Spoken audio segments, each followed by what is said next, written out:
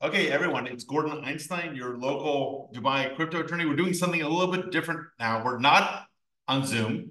We're not in a podcast studio. We're at CoinW, which is an interesting new exchange I found out recently, thanks to a mutual connection here in Dubai. And I am with the impresario entrepreneur behind it, Sonia Shaw. Yes.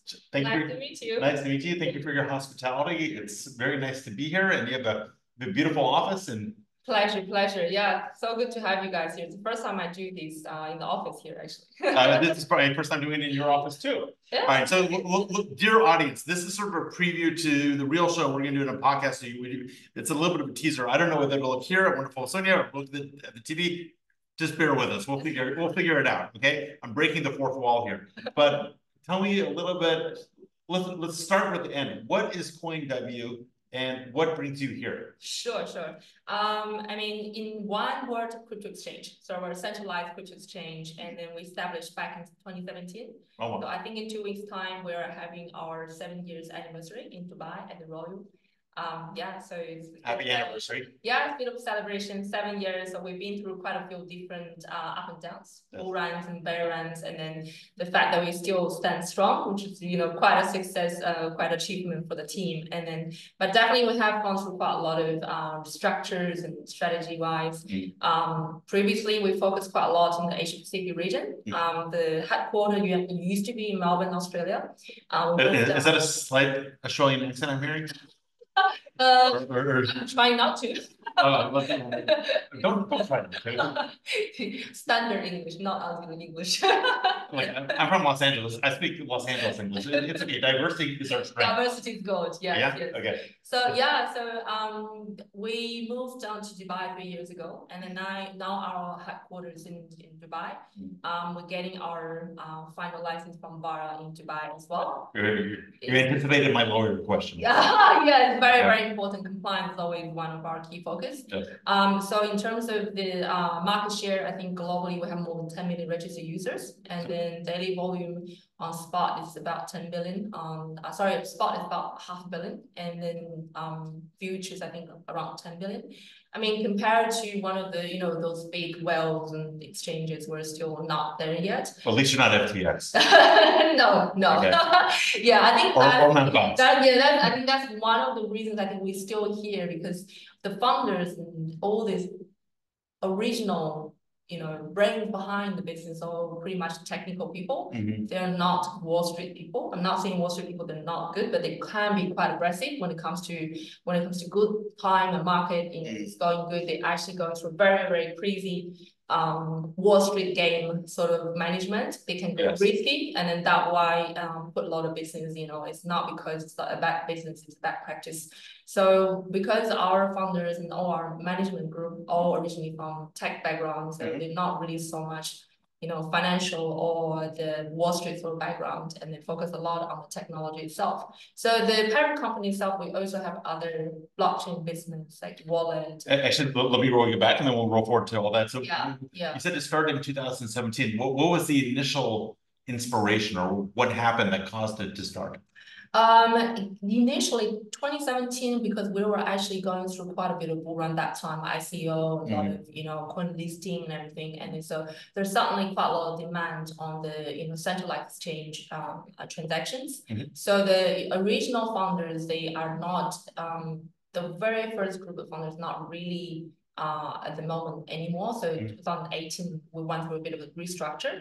And then so the business uh, parent company from Melbourne took over the business. And where was it originally? Originally, they started from China. Okay. And then so the market share also started from China.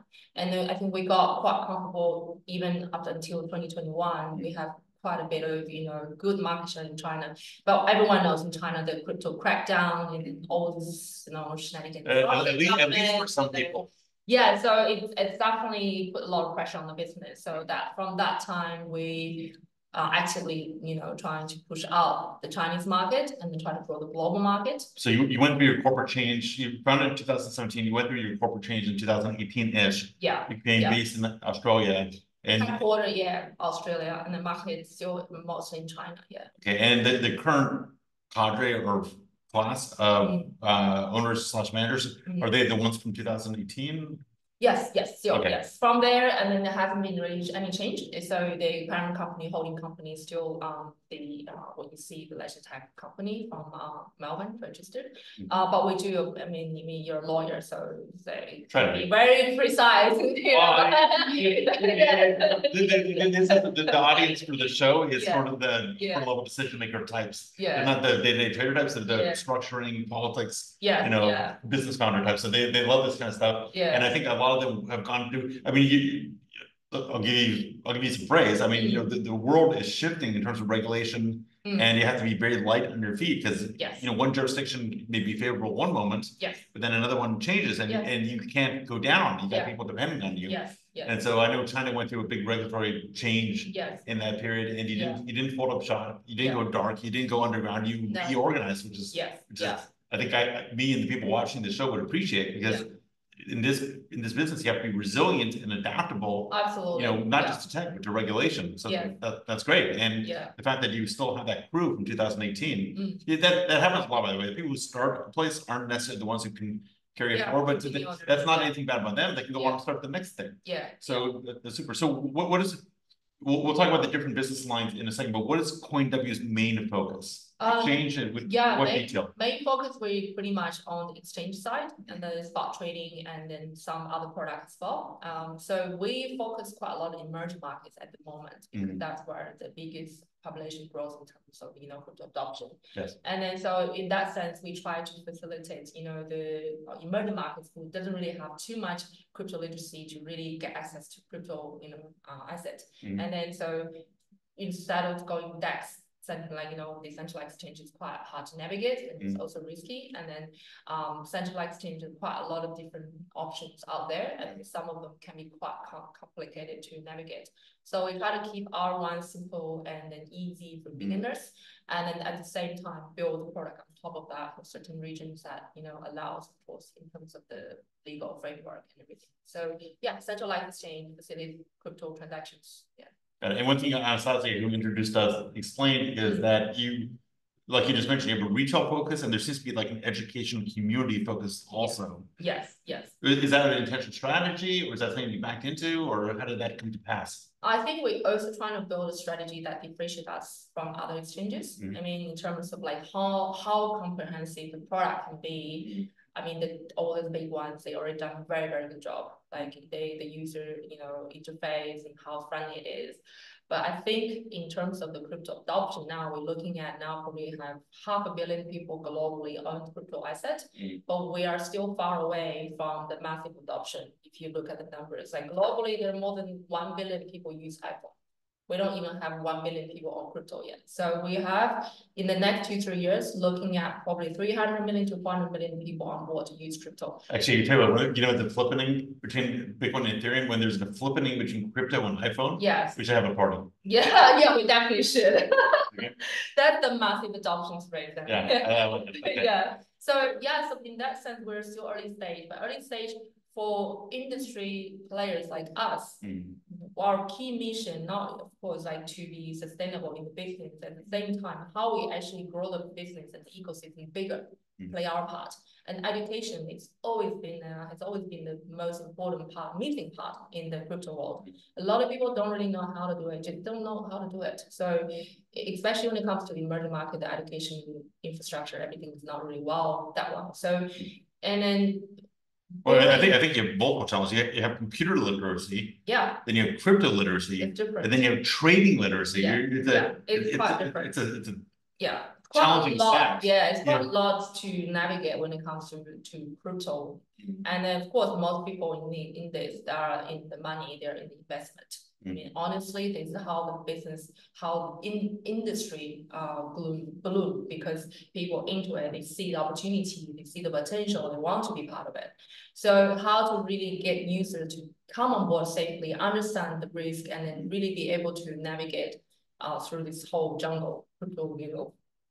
It's it's it's part of the very important mission for us, like because we're retail focused. Yes. Get our users to understand crypto better, to understand the industry better, to understand the risk better. That will always benefit us and benefit the whole industry better, so. I'm thinking about that. That's both a lot of responsibility because it's retail and it's a lot of opportunity because it's retail. Yeah, crypto is mm. retail. I mean, not only now this bull run, institutional coming in, yes, but it's all from, from retail. We cannot forget the retail community. They are the key pivotal part of crypto community. So we need to get more retail users and. I mean, that- that- that's original vision behind Bitcoin. Yeah, we don't need to, you know, have Wall Street big players again control the financial system like they used or in the traditional financial system. Crypto is, Like I said, like they used to.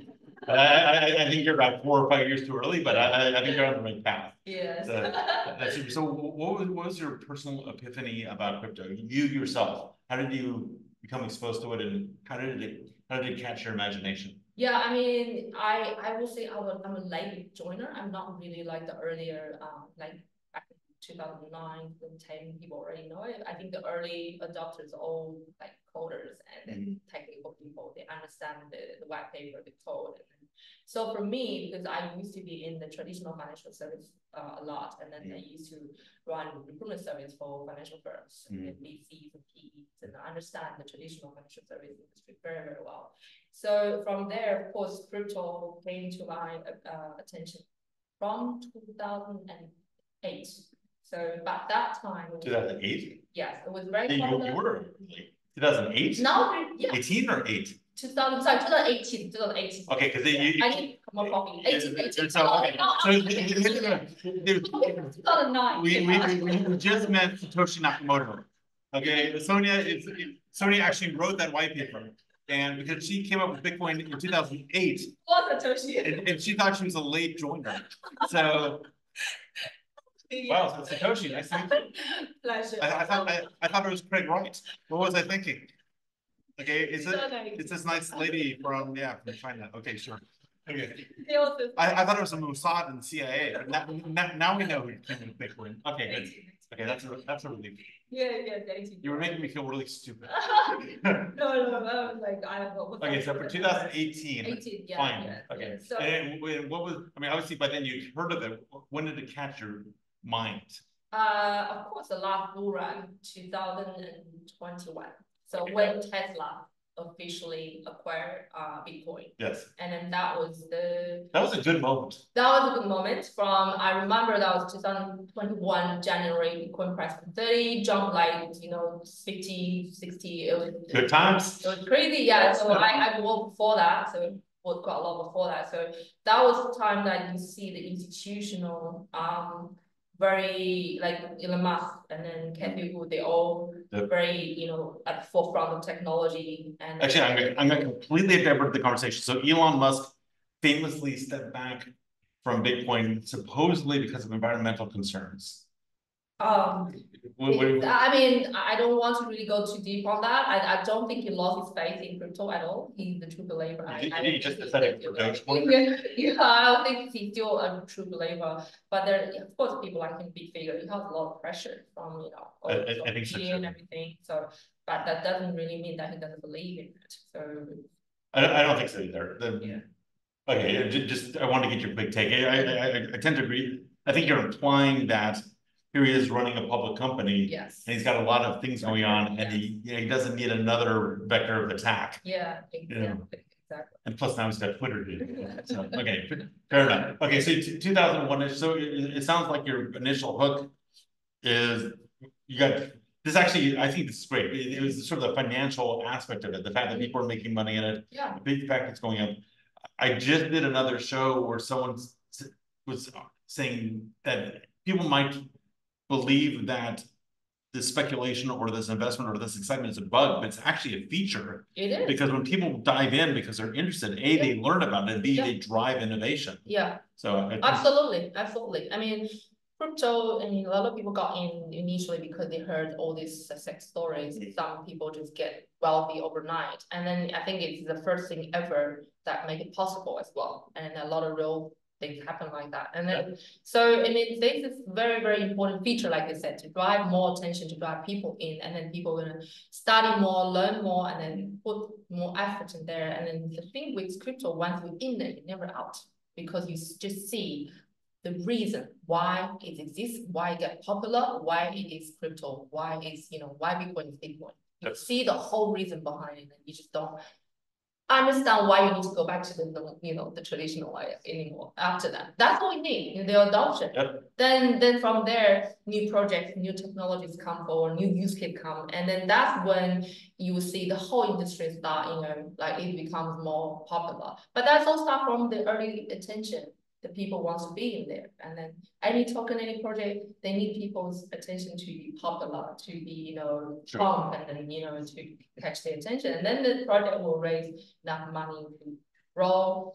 And and also meme, you know, look at the meme in the last few months. And in the pre- previous bull run, people think meme is just like, it's a joke. Like you think about, it's not investment, A little bit. you, you gambling, you, you Yeah. a joke, but now meme is a real thing is a real thing that catches so much attention from a lot of people that don't really understand crypto too much. It's easy to understand, easy to get in, and it's quick money. Sometimes people get really, you know, uh, earn a lot of profit in a short time, and then it fits to certain type of, you know, appetite, and then when it comes to crypto. And then because of that, look at the Solana, you know, chain that's really popular because the main point, a lot of transactions happening on the chain. Have have you heard of Slerf? So, yeah, I- Someone just told me about this. I was like, I I it's couldn't believe it. I I bought some as well, of course, like bought and sold as well. And yeah, there there are quite a lot of you'll see in the last two, three months, a lot of meme came out and then the market cap hmm, one billion in a in a few days. Nothing like that ever happened in traditional business. And because of that, a lot of people start paying attention. They're like, wow, how did that happen? Let me look at it. Or when can I catch the next opportunity? Then the it's slowly adoption come more and more. So yeah. I, I'm with you. I'm, I'm personally of the opinion that when you, if you get attracted to crypto, first because of the profits. In order to trade well, you, you have to understand some of the underlying tech eventually. Absolutely. And once you understand that, and once you start understanding decentralization, Yeah, you start to, what usually happens is you go down this rabbit hole of trying to understand, well, what's the US dollar? yeah, You know, what's monetary policy? Yeah, What are interest rates? What's fractional reserve banking? yes. And it kind of takes you down an interesting political philosophical path. Mm. You know, it- it's like a, it's, it's, I think that Yeah, what the it's like don't like, you know, that, that because from the first time in human history, people can look at the financial system from a different aspect. Yeah, and really, pulling back the curtain, yes, right? and then, yeah, you can really operate from a different aspects now, like function. For example, now if you travel globally, um, realistically, you can travel around and then without really using your fiat money, crypto, because crypto credit cards ready, crypto Yep. wallets already, and there are a lot of OTC services everywhere, and of course, like depends on the jurisdiction in the place. Mhm. But it's totally possible. It's a huge use case happening now already. Just I've noticed that. It's, it's kind of cool. I mean, I, re- I'm old enough to remember traveler's checks. Mm. And when I studied in Germany as a, as a kid, my Mm. mom gave me traveler's checks and I had to go to Yeah. different banks and cash them. Then Yeah. credit cards became almost like Yeah. a universal currency. yeah, But they have their own little issues, with Yeah. exchange rates and interest. yeah, And now, you know, USDT, it's, you know, yeah. with the, the thing, that thing where you have to declare a currency when you cross a border, it's like. Wh- There's no border. would- yeah, who says where your USDT is? Yeah. It's on the blockchain. Yeah, You yeah. know, There's is no it- border. It's not in your, inside your body. So Yeah. you, you're not, you don't, you know, Decentralized. Yeah, it's, yeah, it's everywhere, it's nowhere. And then Yeah. you're like, oh, wow, this is fantastic. yeah. You know, and then I, I, I li- I like how it kind of pushes the future. So, and it. You started talking about before, but I wanted to get the basis. What else is CoinW working on? You, you said the parent company's Legend. Mm. And wh- what are the other verticals you're working on? Um, so we have main three business lines. So one, CoinW is a retail focus on uh, crypto exchanges, centralized sure. exchanges, and we also have our crypto custodian service, wallet service. So they That's call it wallet wallet as a service. So you, you um, for a lot of institutional uh, investors, like they don't really have the technical know-how to really custody, you know, their their own crypto assets Mhm. and then manage and on-chain security and everything. So we have a crypto uh, wallet service as well. Let me dive in that one because that, that's been an area I think of interest a lot of people I, I work with. Is that a fully operational product or is that under Yeah. development? Yeah, yeah, yeah. It's fully operational. It's also our wallet started from 2009, if I remember. It's Mhm. we've been developing the product for a long time. So we have the retail wallet service. Well, it's a custody uh, wallet. Mhm. So you can swap on the wallet. You can store your uh, crypto in the wallet. You can do uh, investment in the wallet as well, like staking. And then also our wallet has very unique function for the retail one. It's like you can also do a joint wallet with your family. For example, you and your wife, you want to hold crypto together. And then instead Oh, of. wait, wait, audience, my wife is in the room, and I'm surprised she did, I'm surprised she didn't look up when. well, Yeah. Yeah, repeat, repeat that for my wife. Yeah, instead of you give her the private key on a, you know, on-chain wallet, our custody wallet, wallet allow you to really have a wallet joint and share wallet code. And any transaction need both approval to go in and out, especially going out, of course. And then so there's a custody wallet. So, so dear audience, her, her, her eyes are going wide. Yeah, yes. Here, s- s- Step around. Yeah, because. no, this, this is going on. Interesting news. So, Mm, Yeah, absolutely. So, honey, honey, how, how do you feel about this new join, how do you feel about this new join wallet function? Yes, right, join wallet. Yes. Thanks, Sonia. Tha- Thanks for saying that right in front of her. That's right in here, seriously. By the way, I, I'm in your room with three one. Your husband and wife should have a joint wallet. Okay, you saw it here first on YouTube. I'm YouTube. so afraid you're losing a lot of audience from here, all the guys like, no way. Ah, That's why I want crypto, because I wanna have my money from the wife. well, you, you can have one joint wallet with your wife. Someone told me like that in Australia, like when my friend said, oh, I want. Well, they, they, they, they, they, they shouldn't say that. Okay, anyways, um, It's funny. mo- moving right along beyond the joint wallet. Okay, and what else? And then another one is uh white label service, uh SaaS service for uh crypto exchange, so for. Cause now I think globally we have around, I mean, s- small, big, more, probably more more than a thousand different exchanges, mm-hmm. centralized exchanges. Different region, different, you know, local ones and international ones, but in terms of the growth space of the crypto users, and then I don't think we. Have enough, like one thousand businesses is not enough, so it's still a lot of changes coming out as well. Sure. So we provide full stack a um technology and liquidity service for anyone who wants to open up their own exchanges. Um, government, some some some countries like they they want to open their government backed exchanges. Mhm. And then of course other, Oh, that's interesting. Yes. Where, where are you seeing, if you can, you can say, where are you seeing? Uh, mostly the, like, you know, um, the emerging markets like, you know, Salvador and then Central Africa, those sort of things, they already officially, um, Like Central African Republic or Central Africa in general? Re- Republic, which one, Really? which one that legalized crypto?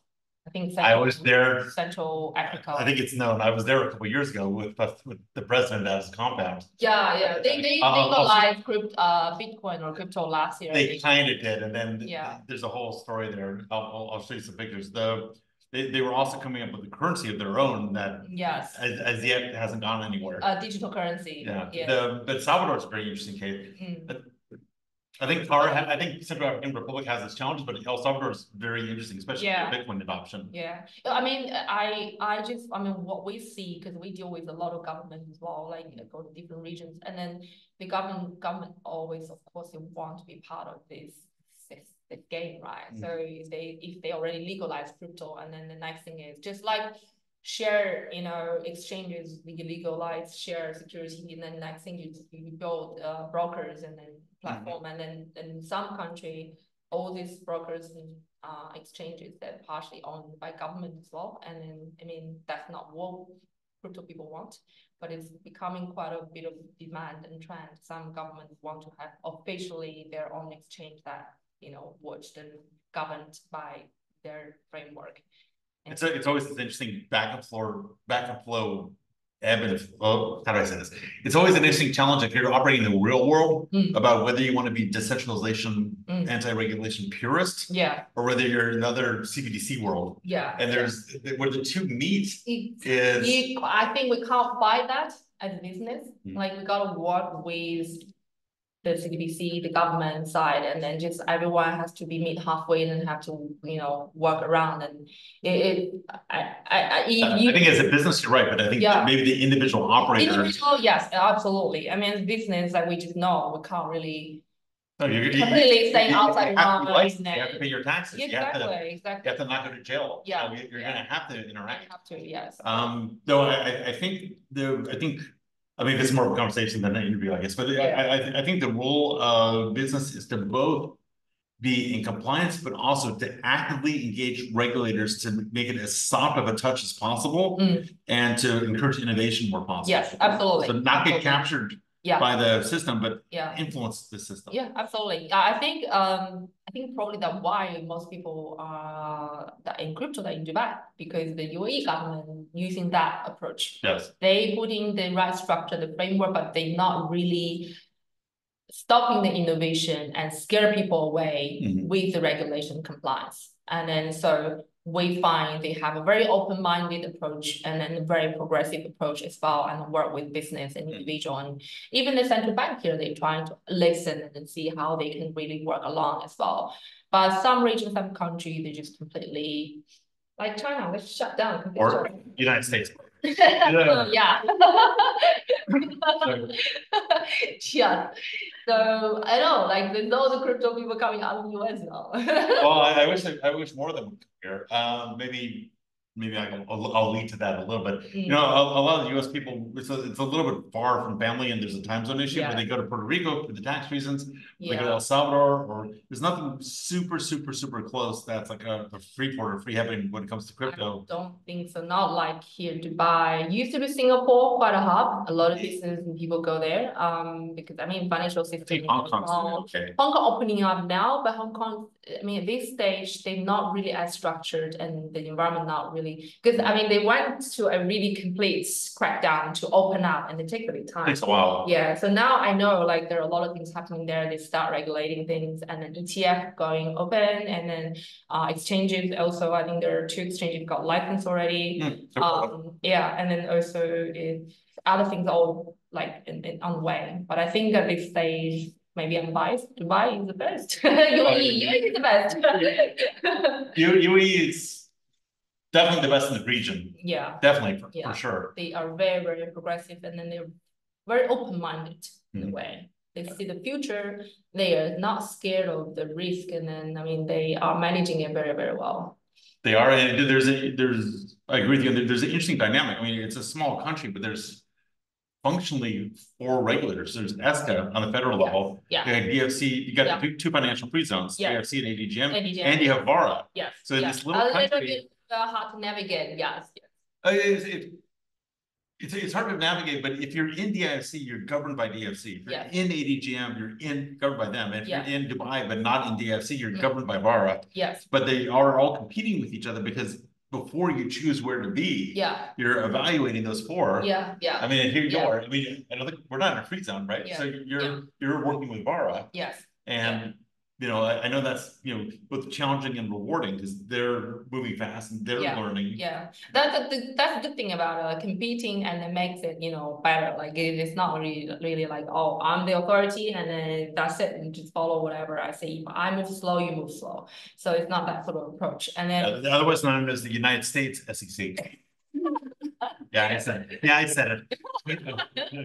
Yes, so I mean, like from the business perspective, when we navigate around all those regulators in the UAE, also we're like, okay, there are quite a few of them. But I think they also work actively see how to streamline and sort of like make it more unified in a way. Um, but it's they're not really making business hard, making their life hard, and then they offer help and they give you clarity as well, like what you can do, and then if you want to operate this way, and then what we suggest you do this and that. So it's very the clarity and then the support, that's all we need. It's not like you don't really know what the government wants and then you still have to run business, right? And then business does- does shut down and they can't turn the lights off, just, you know, wait for them to understand what crypto is. And then so, but some countries, some region, they're just really, really slow and then they don't really understand blockchain, anything. They're just like, okay, you can't do this because we don't understand. So that's a bit of. They're not gonna stop us. mm, We'll yeah. either go in the shadows or we'll go somewhere else, you know? Exactly, you can't stop innovation, they, they, they exist for a reason, it's, it really has a reason to be here and Mhm. more and more people adopt, uh, adoption coming, So you can't stop, you just have to work. Government needs to work with it, we need, business need to work with government, government also needs to work with business and individuals. Yeah. And the ones who get with the groove and don't do it resentfully will be Yeah. the global winners. Yeah, You're just, exactly, and you're part of this. yeah, Here. hopefully. Yeah, you're, you're right, Marcus. I mean, this- this office is beautiful. You got a big international operation. You're We're a trying. great leader. Uh, Anastasia you introduced us, said that you have a very Thank you. nice thing where you sit with your people at a desk, you know. Space. Yeah, you're, you're space. perfectly clean, well organized desk. Yeah. Yeah. That, that, that part quotation.